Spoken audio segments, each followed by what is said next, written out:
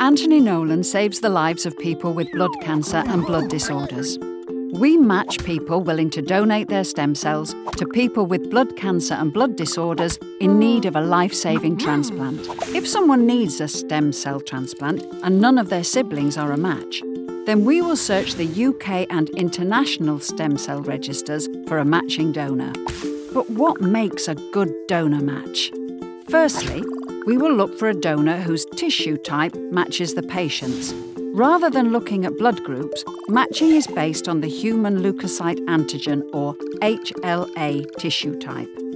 This is what makes you, you, your individual genetic characteristics. Your HLA type is made up of five genes. Each one of these has two different versions, called alleles, making 10 in total. You inherit one version from your mum and one from your dad. When it comes to matching a patient with a donor, if nine of these genes match up, it's called a 9 out of 10 match. If all 10 match, then it's a 10 out of 10 match.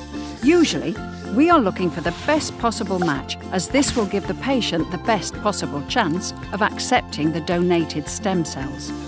It is more likely the donor will be a match if they're from the same ethnic background as the patient, but anyone from any ethnic background could potentially be a good donor match. Doctors will also test to see if the patient is positive for cytomegalovirus, or CMV for short, a very common virus that often has no side effects. Ideally, we want to find a donor who tests the same for this virus as the patient, both positive or both negative for CMV, as evidence shows this improves transplant success.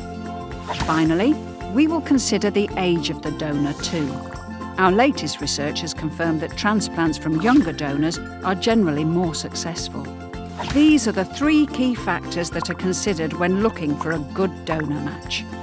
If you'd like more information or support, the Anthony Nolan Patient Services team is here for you visit anthonynolan.org forward slash patients.